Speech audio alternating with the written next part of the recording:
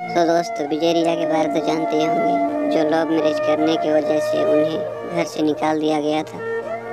जिन लोगों के पास रहने के लिए घर नहीं था, खाने के लिए पैसा नहीं हुआ करता था, जो कि एक बहुत गरीब परिवार से बिलोंग करते थे, वीडियो बनाने से मना करते थे, गाँव के लोग हँसते थे विजय रिया उन लोगों के बात को टालते गए और अपने काम से कभी नहीं हटे और अपने काम करते गए।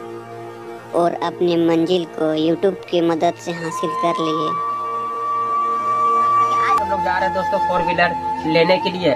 और दोस्तों, क्या बताया जब पिछले जब जीवन को हम लोग याद करते तो काफ़ी हमें भी मतलब कि मतलब दुख आता और मतलब ऑटोमेटिक मतलब क्या ही आप सभी लोग इतना खराब फील होती है ना। क्योंकि मुँह के सामने हमें लोग ऐसे ऐसे बोले हुए थे ना, कि मतलब बहुत निंदा करे हुए थे हम लोगों को। मेरे ही मतलब अगल बगल के लोग। जब हम लोग ब्लॉग्स बना रहे थे तब ऐसे ऐसे मतलब कि व्यवहार कर रहे थे। और आज दोस्तों, आप सभी लोगों का प्यार और आशीर्वाद की वजह से दोस्तों, आज हम हम एक ही चीज़ कहना चाहेंगे कि जीवन में कोई भी चीज़ असंभव नहीं होती दोस्तों, बस मेहनत करिए। और मैं हमेशा लोगों को मोटिवेट करती आ रहा और हमेशा मोटिवेट करते आऊँगा। और किसी को भी गरीब समझ करके इग्नोर नहीं करिएगा।